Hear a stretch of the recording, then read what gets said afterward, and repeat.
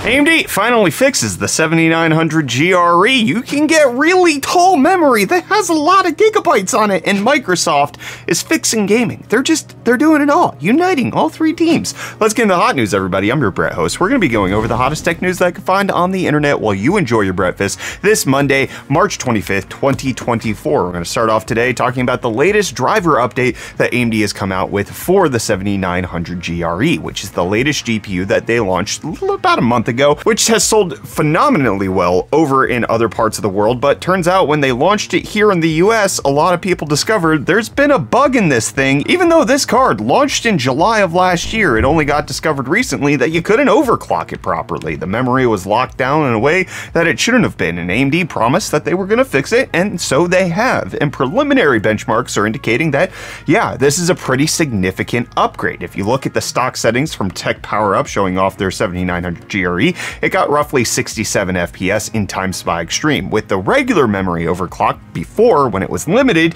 you got about an 8.2% increase. But now with it being unlocked even more, you're looking at roughly a 15% increase, which makes it perform pretty gosh dang well. You're getting much closer to the 7900 XT in terms of Time Spy Extreme performance. This is not going to apply in every game, but the fact that people around the world were raving about the 7900 GRE came to the American shores and AMD didn't have this fixed is a, a weird situation overall. AMD just constantly being confusing in the software game, but hey, at least it's a good thing that it's fixed now. And what's also a good thing is today's video sponsor. Do you want to get into custom PCs but don't know where to start? Don't worry, because our sponsors Velztorm and Newegg are here to guide you through.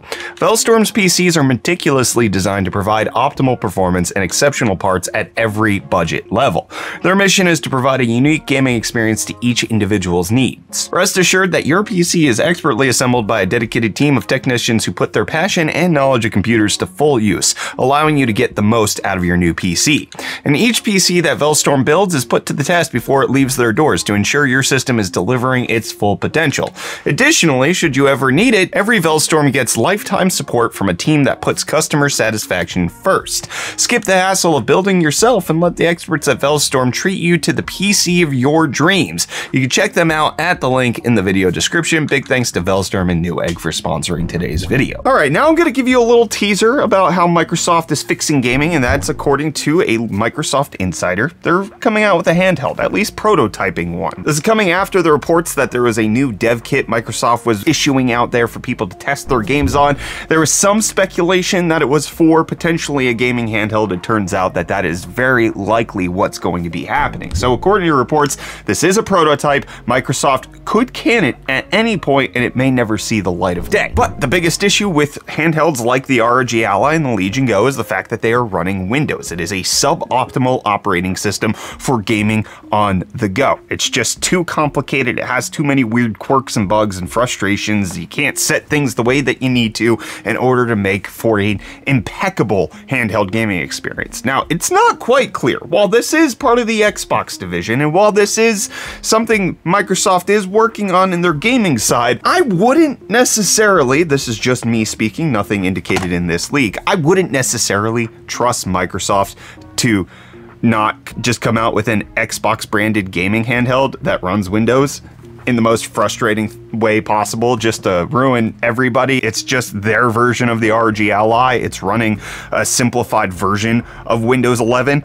I could I could see that happening. I hope that it does not. I am scared of if they do that, but if it's running regular Xbox operating system, then I think it could potentially work. Especially if they combine it more with the pitch for Xbox cloud streaming for running those games that maybe might be too intense for an AMD Z1 Extreme chip. Any new AAA title that they're coming out with, you could play it on Xbox cloud gaming, but for things like Ori and the Will of the Wisp, you can play those natively on the gaming handheld. I'd like to see that. And you could potentially load it into a single stick of RAM because Micron is showing off some of their server RAM, their DDR5 8800 mega transfer per second RAM that is a tall form factor, 256 gigabytes per DIMM, And these are meant to go into servers, which could potentially be into 12 channel memory setup, which means you could get three terabytes of RAM in a single server setup with just using all of these, but they do consume 20 watts a piece. So you could potentially be looking at 240 watts of power going just to your RAM. Obviously, you'd have to be lighting up your RAM all at the same time, but if you need three terabytes of RAM in a single setup, I mean, you're probably using it. I can't afford it. You probably can't either. Let's wait till the Linus Tech Tips video comes out where he runs Minesweeper on it or something like that. And let's wait for NVIDIA to refresh their mid-tier GPUs, the 4070, 4060 Ti, and 4060, all getting new under-the-hood changes. They're just going to be cut-down versions of already existing GPUs. This really isn't much besides the fact that these GPUs are going to be slightly different, but you shouldn't notice any performance differences whatsoever. Just like you shouldn't notice the difference between me and Reese. We sound exactly the same. Yo, welcome back to UFD Deals, bringing the hottest tech deals out on the internet. Happy Monday, guys, and hey, got some deals for you. Starting off today, we have this Arctic Liquid Freezer 2 420 ARGB AIO CP liquid cooler for only $99.99, making it $56 off. But then next up, we have this Acer Nitro 27-inch 1440p 170Hz gaming monitor hitting all the sweet spots for only $169.99, making it $80 off. And then lastly, we have the Meta Quest 2 VR headset, specifically the 128 gig version down where it always should have been at 199, making it $50.99 off. And them's the deals. You can find these and more linked in the video description down below. But until next time, I'm gonna hand you off back to Brett for the rest of your hot news. Cheers. Well, Reese, here's the bad deal when it comes to Apple Silicon. Turns out that it has an unpatchable hardware vulnerability, which allows hackers to steal cryptographic keys from the M1, M2, M3 Max chips, which is just bad news bears. And while it's unfortunate that this chip level exploit can allow people and nefarious actors to garner all of that encrypted data that you're supposed to have, it turns out that they have to bypass Apple's gatekeeper protections on top of this vulnerability hack, and then it can take as long as 10 hours for them to run the software, which, you know, with uh, compute in improvements in the future, maybe that timeline will be shortened down, but there are multiple layers that you have to get through in order to actually even access this vulnerability. So the likelihood of this affecting many people who are running anything by Apple, not very high. Apple can't patch it, and there likely will just have to be software mechanisms developed that uh, potentially mitigate this risk. But uh, Apple, not it, can get viruses too. They lied to you when they told you that they couldn't, and everybody's lying to you about whether or not the three GPU companies can get along. AMD, Nvidia, and Intel, we know that they can live in harmonious matrimony, and it turns out Microsoft is going to be the company to do that. They announced at GDC that they are indeed working on DirectSR, Direct Super Resolution, which allows them to just have things like DLSS XeSS, and FSR on their own. You don't have to have it developed by NVIDIA. You don't have to have it through the pipeline with AMD. It could just be baked in as the game developers are working on the game. They can have a straightforward pipeline to implement these things, and it's not up to whether or not NVIDIA is giving them all of the hardware to make sure that they're prioritizing their development, or you have an AMD sponsored title like Starfield where you don't even have DLSS on launch. It could potentially be something that is glorious for everybody, fusing it all together, making it simple and easy. This is a good thing that Microsoft talked about at GDC. The only problem is they have no timeline for this. Work graphs, which was something that AMD showed off, we talked about this in last week's episode of Hot News, which allows for faster rendering pipelines for just regular old video games. That at least is currently in the mix of when it's getting developed. DirectSR, Microsoft had no indication of when we're going to get it, but Microsoft also filed a patent about how they're going to fix ray tracing. Turns out that the way ray tracing is currently done by AMD, and Nvidia, and all the others is bad, and it, it consumes too much VRAM. You think the problem with your RTX 4070 Ti is the fact that it only has 12 gigs of VRAM? No, it's the fact that ray tracing is done poorly and it should be fixed. Microsoft here doing that, and it's just essentially using level of detail setups for how the rendering pipeline for ray tracing works and mitigating that before it actually goes through the rendering pipeline and making sure that some of that stuff gets offloaded to the SSD instead of being processed on the graphics card. And that way you don't have to kind of hobble it together with upscaling technology. You can utilize the hardware that you already have instead of having to fake the actual detail that's already in there using like DLSS. It can actually be natively built in with the ray tracing that's already there. Microsoft looks like they, they have a good handle on what's happening with gaming. Xbox might not be doing so well in the hardware sales, but they are making and shaking and baking some moves when it comes to making sure that your gaming experience, at least as a PC gamer, is getting better overall, which I'm pro Microsoft right now? That's a that's a future I didn't see myself in. And I did see myself responding to your comments from Friday's episode of Hot News. We got Captain Jonathan saying, Nice to see these near monopolies starting to face consequences for their anti consumer, anti competition practices.